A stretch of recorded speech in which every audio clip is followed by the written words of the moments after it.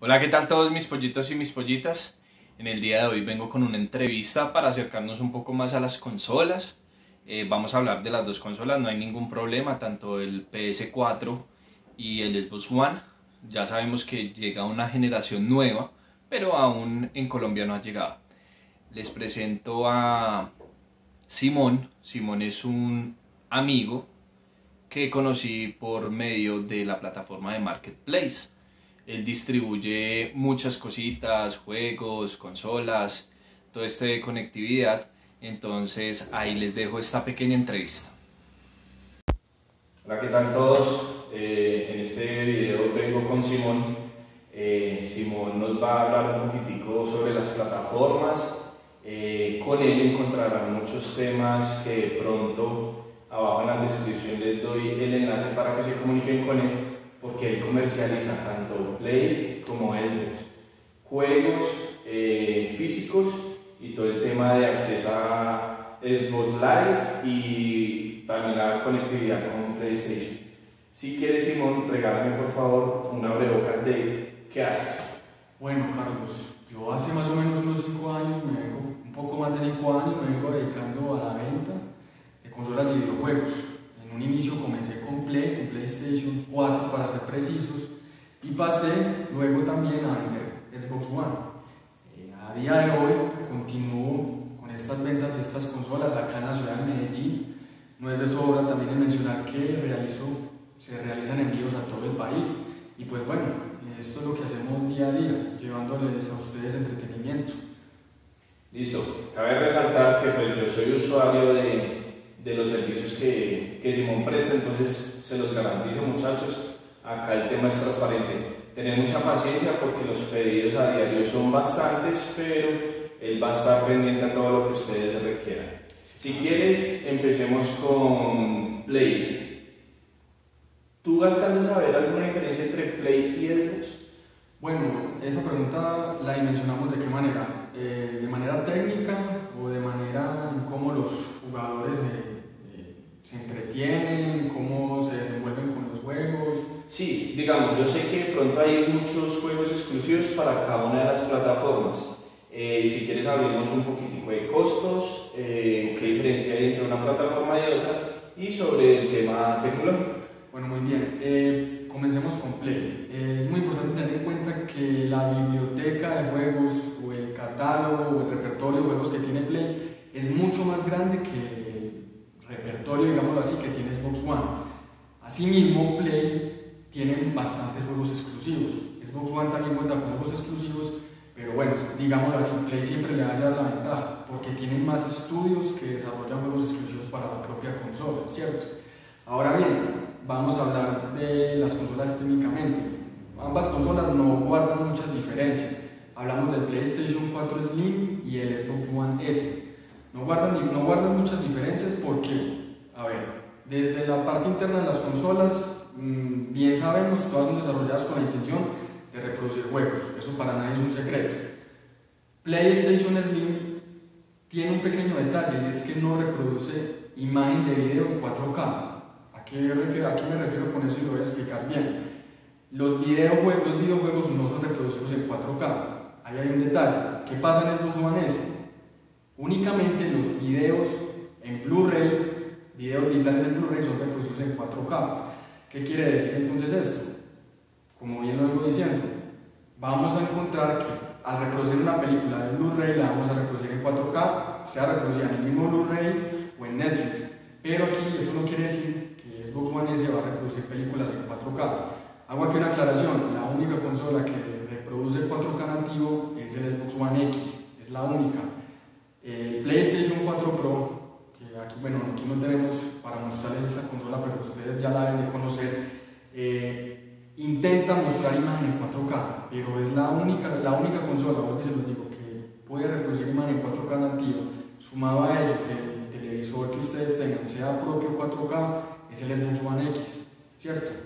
Importante, qué pena, Simón, importante el televisor, porque no podemos exigirle a un televisor eh, qué sé yo, que pueda ser smart, pero que las referencias vienen de años atrás, que te reproduzca en 4K. Entonces debemos verificar el tema del 4K, ya vendrán las tecnologías como el 8K, Ultra HD, Super HD, entonces verificar muy bien que nuestro televisor sea apto para las consolas, porque puede que la consola te ofrezca mucha resolución, pero si el televisor no te la reproduce, no te va a generar el mismo, las mismas gráficas que te genera un televisor que sí sea acorde con esta, con esta necesidad de, de resolución.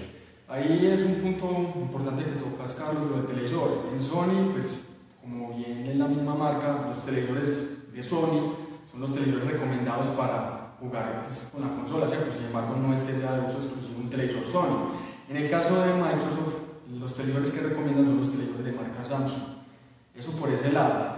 Ahora vamos a pasar al punto de hablar de juegos digitales, no sé si te parezca, Carlos. De una. Eh, es muy importante tener en cuenta algo. En este momento, para la fecha, es mucha la, son muchas las formas de encontrar juegos digitales. Encontramos personas que venden cuentas con juegos, los llaman juegos offline. Pasa en el mismo caso con, los, con las cuentas de Play, a esto lo llaman cuentas secundarias y cuentas primarias, ¿cierto? Pero hablando de esto primero, como bien dicen por ahí, lo barato, tiene, lo barato sale caro. Hablo primero de estos. Estos juegos offline son cuentas que son compartidas y son distribuidas en diferentes consolas. No recuerdo muy bien si de forma ilimitada. ¿Qué pasa con esto? Que estas, estas cuentas incluyen juegos. Les compran juegos con un montón de métodos eh, de, de, de procedencia desconocida. Pero entonces lo que hacen, le compran juegos, meten juegos a la cuenta se las venden a las personas, es de aclarar que los juegos son muy baratos, son juegos demasiado baratos, digitales obviamente. ¿Y qué pasa? Que se ha reportado, y he tenido clientes que me han dado la notificación, que no saben qué hacer porque perdieron la plata, que estas cuentas dejan de funcionar después de un tiempo, en el caso de estos.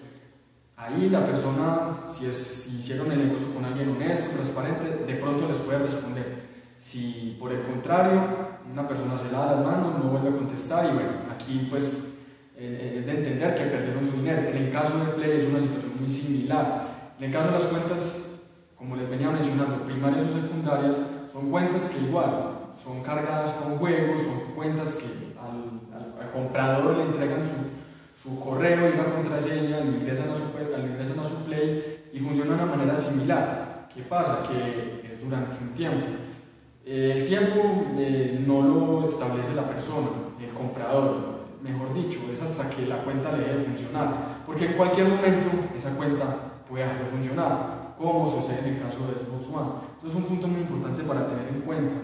Eh, yo siempre voy a decir, es mejor eh, invertir un poco más, comprar juegos digitales en la tienda ya sea de Play o en la tienda de Xbox, que son juegos que van a quedar vinculados a su cuenta, a su perfil principal, van a ser de ustedes, no van a tener la necesidad de esperar por, eh, correos, contraseñas y bueno, con la incertidumbre de si eh, esto va a funcionar en tal, eh, tal día, tal fecha. Entonces, eso es para que lo tengamos en cuenta.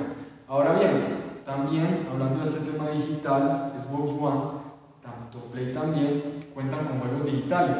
Juegos digitales que son en estas presentaciones, un voucher, cartones que en la parte de atrás tienen un código. Ese código, pues van ustedes a la tienda, ¿cierto? en su perfil y lo descargan. Ese juego va a quedar vinculado a su cuenta, ¿cierto? Ese juego es totalmente completo, es un juego que eh, van a poder jugar sin ningún problema. Eh, aquí podemos observar varios ejemplos de juegos digitales. Este es de Xbox, no, en el momento no tenemos de Play, pero con Play es muy similar la situación. Son vouchers con juegos, con códigos para descargar. Te pregunto una cosa, la diferencia entre discos a juegos digitales. Cuando uno ve la capacidad de memoria de las consolas, 500 eh, gigas, una tera, cuando yo compro un juego digital o compro un juego físico, ¿qué diferencia en el peso de, de, de la memoria de las consolas? Bueno, Carlos, realmente no es mucha la diferencia de peso. Sea juego físico o digital, hay que tener algo claro desde un principio. Si compras un juego en físico, un ejemplo aquí, eh, el juego te va a pedir una descarga de la información que viene en el CD y una descarga de información bajada de internet, en este caso de Xbox Live, ¿cierto? Va a necesitar eh, esa descarga de información. ¿Por qué? Porque en esas descargas están todas las actualizaciones que le han hecho al juego. Sucede en el caso también con Play, ¿cierto? Eh, ahora bien, es de tener en cuenta algo, cuando el juego es descargado en formato físico, cuando ustedes ingresan el, el, el CD a la consola, el CD y la descarga va a ser un poco más rápido, ¿cierto? Claro que aquí hago una aclaración, también depende mucho la velocidad de su internet, ¿cierto? Para descargar el juego digital, pues bien, como su nombre lo dice, es algo que es un, formato eh, no tangible, por lo tanto, pues va a tomar su tiempo de descarga y vuelvo a lo mismo, depende de su velocidad de internet, en que este descargue o más rápido o bueno, tome su tiempo. Pero siempre es importante tener en cuenta eso, el juego en formato físico, la descarga de información del CD va a descargar de manera eh, más rápida comparación a lo que sería de forma digital. Ahí yo les boto una sugerencia, no se conecten por Wi-Fi. El Wi-Fi tiene eh, un periodo de carga hasta que llegue al router y el router comunica al internet. Entonces, si quieren, si no quieren jugar lagueado, jugar lagueado es horrible. Si están en multijugador, entonces conecten el cable coaxial desde el router hasta la consola. Les pido excusas porque esta entrevista eh, quedó cortada si Simón lo permite, podemos hacer una segunda parte, pero eh, este día estábamos con problemas de conectividad, teníamos encima el tema del aislamiento, teníamos el tema de, de guardar ciertos protocolos de bioseguridad. La entrevista había quedado eh, mal guardada, volví y la recuperé y acá se las pongo en el canal. Abajo en la descripción les voy a dejar todos los datos para que se comuniquen con él. Eh, yo soy usuario de los productos que él vende, entonces es de entera confianza. Nuevamente le agradezco por estar en el canal, por haber hecho partícipe de este video. No olviden eh, dejar su comentario, suscribirse para que no se pierdan ningún contenido activar la campanita de notificaciones. Les doy muchas bendiciones como siempre, mucho amor en este, en este canal y un abrazo. Chao.